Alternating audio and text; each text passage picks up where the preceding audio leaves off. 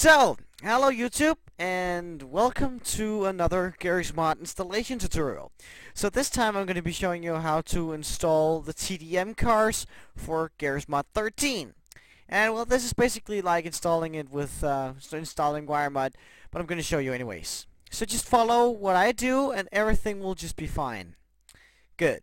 So, first of all, you want to go download uh, a program called, oops, Tortoise SVN. I'll put a link in the description for this. You're um, going to choose your operating system, and, well, I guess you guys know how to install, so just install that program. And once you've got that installed, um, I want you to go and browse. Um, so go under your local hard drive. Uh, in this case, mine's called E.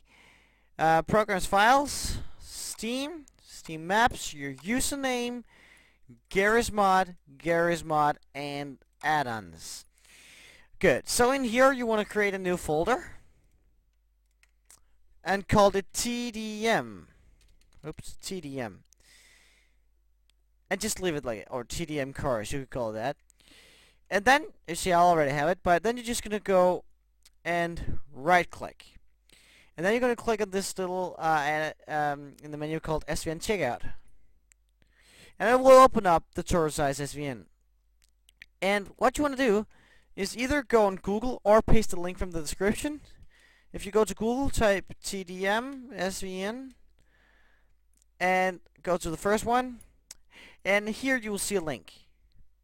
So we're going to copy and paste that into the URL of repository.